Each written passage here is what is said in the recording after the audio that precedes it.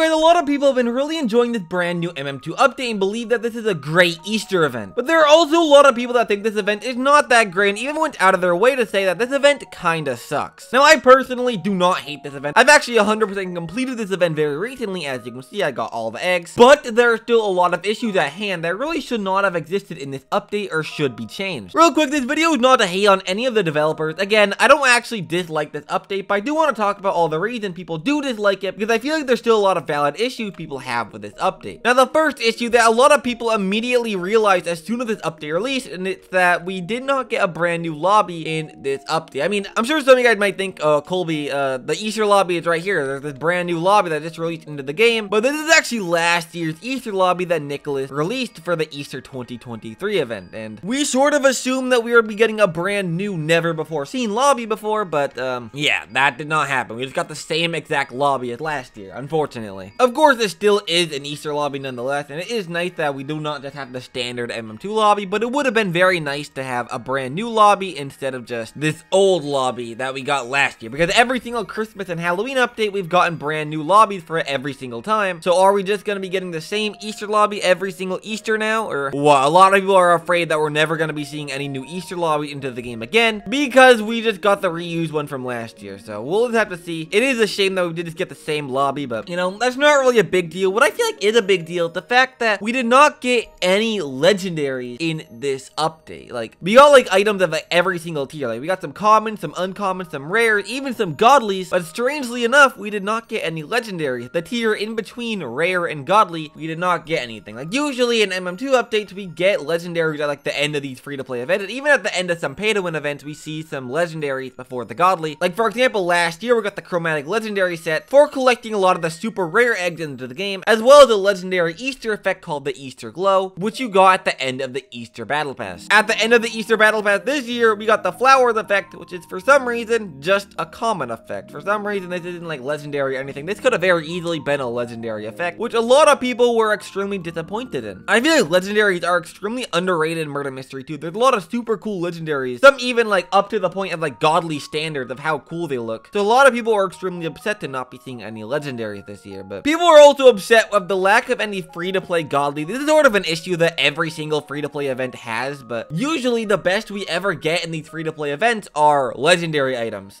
of course, this event, the best we can get are rare items and some effects, but something I really wish was different in these free-to-play events is that we could be seeing some free-to-play godlies in the future. Because of course, we did get some godlies in this update, but you have to spend Robux to get them. Something that might have been cool is that maybe for like 10,000 common eggs, or maybe even like 15,000 to 20,000, like some sort of absurd amount of eggs, you'd be able to get a brand new Easter godly into the game. Maybe even like we could add like a bunch of new rare egg. Maybe you can collect a multiple of the same egg. Like if you got like 30 rare eggs or something, you could get like a new godly. That could be really cool. But if you're a free-to-play player, you're not going to be getting any of these Easter godlies unless you spend Robux. Every single Easter godly in this game were Robux shop godlies. Like Eggblade, the Rainbow set, the Flowerwood set, all of these were Robux only items. And same goes with any of the Valentine's items or any of the summer items like The Sakura set, the Wave set. All of these were Robux only. Like why can't any free-to-play players get these items for themselves without trading? Like it kind of sucks. Some people are actually extremely upset with the Flowerwood bundle. This is definitely not people's favorite bundles in the game. Like I personally kind of like the Flowerwood Godly knife and gun. I do not know, have any issues with these items. A lot of people dislike them because they're blue, just because we've seen a lot of blue godlies in the past. I don't see an issue with that personally, but what I do have an issue with is the Flowerwood effect. A lot of people dislike this effect for a pretty valid reason. The main reason is that it's way too similar to an effect that we already have, the flow effect. Like they're both just like blue particle effect. They're both godly effect. They both have flow in the name of the effect. Like we can even equip both of them. Like here's the flow effect and here's the flowerwood effect. Like the only real difference is that flowerwood has a lot of these like white dots. So I guess flowerwood is kind of cooler, but it doesn't even have like a very cool death effect to it. So a lot of people are expecting something a little bit more like maybe some blue flowers like flying around the knife instead of just like blue particles around it. That would have been super cool. Like it says flowerwood in the name of the effect. There's no flowers and there's no wood in the effect. It's just a blue particle. So why is it called flowerwood? If there's no flowers in the effect, like Nikilis, you should have put flowers on there. People are also disappointed with the brand new bunny toy that's in this Easter event, mainly because uh, this bunny toy does not do anything at all. Like you can click it, like I'm clicking right now. I don't know if you guys can hear it, but uh, this bunny does literally nothing. All you do is hold it and that's it, which a lot of people are pretty upset with because a lot of the toys in the game actually do something. For example, the rare egg toy. Of course, you can't actually do anything with it, but has sparkles around, and every time you equip it, it has a different rare egg that you collected. And even some like super common toys, like the cookie toy, this was a completely free toy in the MM2 Christmas event. You can actually eat this. As you can see, there's an animation of you eating it. Same with stuff like the pie toy, you can just eat this. Like the pumpkin toy, you're just able to carve a pumpkin out of it and throw it. Like this is one of the coolest toys in all of MM2. But Bunny, there's just nothing cool about it. You just hold it and that's it. The leaderboard trophy, people are also fairly upset with. Like, of course, we got the Ginger Scope and Ginger Scythe leaderboard trophies in this game in the Easter update. Of course, is for the Christmas update. We finally got an Easter. A lot of people were upset that we got the Ginger Scythe Godly instead of the Ancient at the leaderboard prize, which I kind of understand. It really does not make any sense of why we got the Godly. I know that apparently a lot of leaderboard players wanted the Godly, but I don't know. I felt like that's a pretty weird choice. And a lot of people dislike how a lot of the leaderboard trophy looked like in the game. Stuff like the top three Ginger Scythe leaderboard trophies, specifically like the bronze one, people really hated how a lot of these looked. And even some of the Ginger Scope trophies, people are not fairly happy with. I actually don't think this is a problem at all. I'm, just, I'm gonna be honest with you. I'm gonna defend the MM2 stack team with this issue that people have been having, but only one person will ever own these top three trophies. And apparently the top three leaderboard players of each leaderboard got to help I don't know how to use design these trophies. That's why like the bronze trophies are really different from like the silver and gold trophies because the owner of these bronze trophies wanted them to look a little bit different than how the other one looked, which I think is completely fair. And since they're the only one that's gonna be owning this, like it really does not matter if these look like trash in people's opinion or not, or if they like are a set at all. Like bronze ginger scythe and bronze ginger scope don't really match with each other at all, but that doesn't really matter because no one's ever gonna be using this set to begin with. Like they're both one of one items that uh, two different people own, so it doesn't really matter if they match or not. But I remember when these trophies got leaked, like they got a lot of hate at first, so I sort of wanted to bring that up either way. People are also a little bit upset with End Studio being removed. Not the fact that this map got removed, like we all knew this map was gonna be removed eventually when End Studio 2 releases, but the issue at hand is that we did not get any map to replace it. Like usually when maps get removed in the game, we have maps to replace it unless it's like an event map. Like for example, when Office 2 got removed, we got two brand new Halloween maps with the Scary Mode Manor map as well as the Farmhouse map. So when Office 2 got removed in the Halloween 2021 event, it didn't really matter because we had two amazing maps to replace it at the time. But we did not get any map to replace End Studio uh, in the Easter update. Like we did not get any Easter map. Apparently we are going to be getting a new map very soon, like in brand new End Studio 2 or maybe even an Easter map that Joven has been hinting. But as it currently stands, um, we do not have any brand new map into the game. So we sort of had one map get removed with nothing to replace it, which kind of sucks. We just have less maps to play in MM2 now, which a lot of people are not happy with. Yeah, guys, please let me know what you guys think about this Easter event. Again, I do not hate this event. I, I really like the Easter event, especially last year's Easter. I really like collecting all the rare eggs. And I've been spending a couple days trying to collect all these eggs in the game. Like, I got the Matrix effect and Flowers effect extremely recently, but even I can say that this event could have been a little bit better with some new legendaries, some new features, all of these problems just not existing in the first place. Like, I'm not so sure. Let me know in the comment section what you guys think about this event. But yeah, guys, that's right to this video. So I'm gonna end it off here. So until next time,